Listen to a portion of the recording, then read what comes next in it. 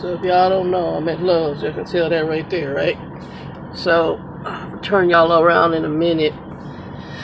Uh, I'm gonna have the inside of the cave video at the end of this, but I'll give y'all some details. I am in Missouri. What's the name of this city? Hold on. I'll let y'all know the name of the city.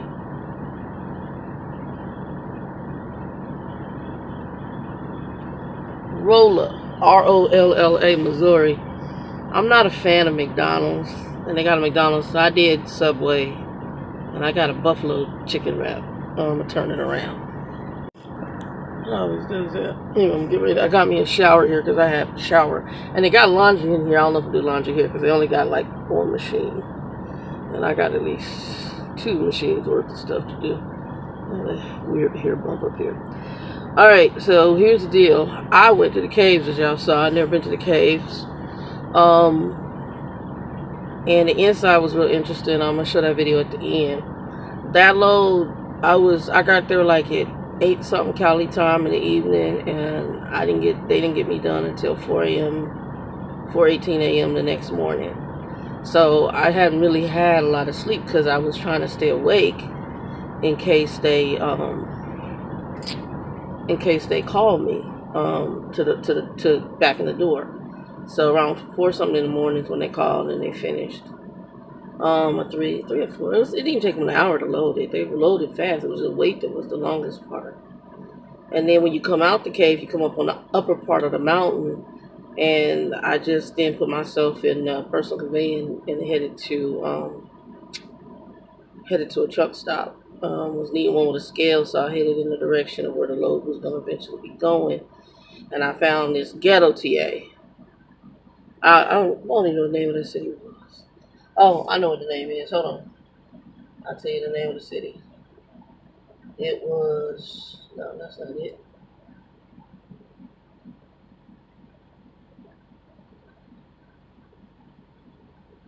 It was. Ugh. Is it Mount Vernon, Missouri?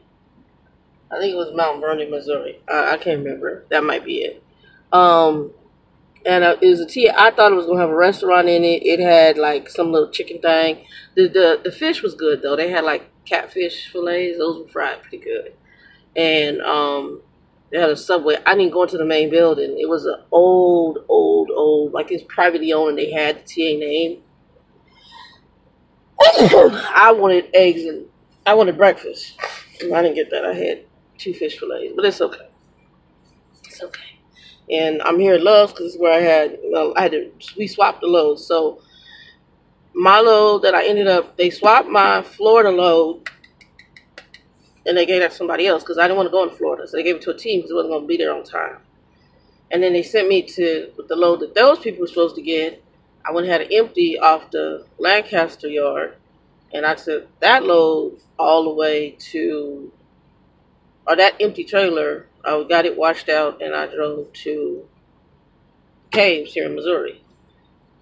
So I did head into the caves that load is supposed to go into North Carolina, and I had already sent a message. I'm like, I'm gonna explain to y'all, this load is not gonna be on time because I'm not going into North Carolina in a hurricane.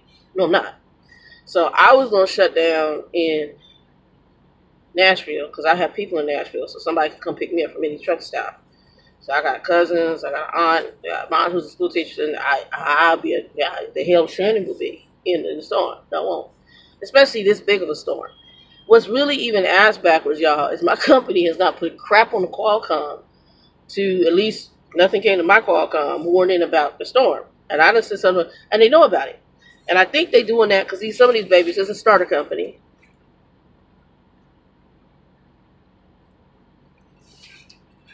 These babies don't know to check the weather. And they sending these dumbasses into this East Coast in these storms to get. It's really just ghetto. I end of the year, end of the year, because I'm just like that's so inhumane. And even even if you don't care about the human, care about your damn equipment, because it's gonna be flooded. Crazy as hell, man. So at this point, because really what they should do is say, guys, we We won't only pick up freight. We're gonna move them to drop yards or to uh, what do you call it? Terminals in the vicinity. We're not going any further east of this because this storm is going to impact these areas.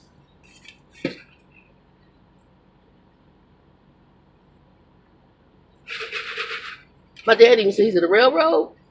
He said they would have shut that crap down. He said we had some kind of major storm. He said they they got every engine they could and hauled all that freight, everything, and they contacted customers and they said all your freight's gonna be waiting. And he said everything from West Texas, New Mexico, in the middle to avoid some kind of storm that had come in with some hurricane. He said don't play because the loss of that freight is expensive. He said, and they lose you know losing lives and all. He said no. He said we, we don't play. But anyway, it's these trucking companies. So, um, excuse me, y'all. This load right here, I came from the cave. It's supposed to go to Maryland. I told her I'm not. I mean, in North Carolina, said I won't go because North Carolina is the direct head of this hurricane. Or the Carolinas in general, both Carolinas, and we talking hundred something mile winds. The lady struck right over and flooding, and they talking about swells and how to swell, and they don't know how far inland this is going to push. So right now I'm in Missouri, and I think I'm gonna I'm gonna wait it out in Missouri because this thing is gonna go all the way up. It's gonna hit really North Carolina, but it's also affecting the whole East Coast. So parts of Florida, all that's being affected. So at this point, I get I go to sleep and God watches out for me and I, I really am grateful to him. And I well I get to the truck stop and I was like, okay, do I drive further? Because I was gonna go into the Carol uh, into Tennessee, and I'd already contacted my people. I'm like, look, I'm gonna be at this truck stop. Y'all wanna come get me, but I won't be going any further. I already let these people know I ain't going no further because this stuff is supposed to be coming in Wednesday and Thursday. All of a sudden, Next thing I know, I get a phone call once I get tricked out, and I went on went to sleep because I hadn't I hadn't had any sleep, and I thought she's me because I put off duty for because if I'm not if I'm not doing anything, I'm off duty. I sit there and on duty eating my clock.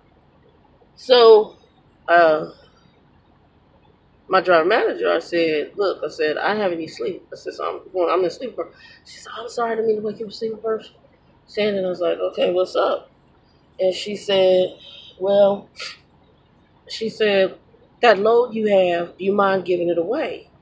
And I said, Okay, what's going on? So she said, I said, Not really. I said, Because I told you I'm not going. She goes, um, I got a driver who called because his daughter is pregnant and she's in the Carolinas and they need to get home so they can make sure that they're okay or get them out of there. I'm like, oh yeah, hell yeah, he can have his load. And so, and I, I said, she said, he's in St. Louis. And I was like, okay, I said, but I'm not going to be able to leave until I get some sleep because I'm done. I'm, you know, I kill somebody's. I hadn't had any sleep. I had two, almost going on day two. And I was like, I had no sleep. I said, I was up, you know, for like seven hours waiting on these people to call me back. I said, and uh, by the way, don't forget my detention pay. And she said, oh, no, no, I won't. I said, okay. I was up like seven hours. I said, so I said, I'm letting you know. I said, uh, I'm not touching anything on the East Coast. I said, now I'm sitting with your load in the middle. But I'm not, you got to find somebody else to drive it. I'm not going anywhere near the East Coast right now. Not until this crap passes.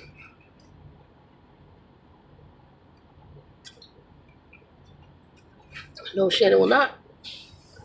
So, she's like, yeah, you told me. I said, yeah.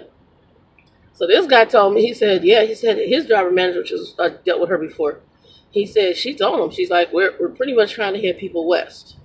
And she says, and out of the area, I'm like, yeah, I don't know if I buy that can cup of tea, because here your load is going up on the East Coast, and I think they're just telling you some bull. And uh, I said, nope, you know, like I know, you need to sit and wait. So, um, we swapped tonight. I took his load, which is some strawberries, some frozen strawberries, and even three pallets on back. And uh, he took my load, which is cheese. It's like it's going to Walmart DC. It's like 40, 43,000 pounds in the box. So he took that, and uh,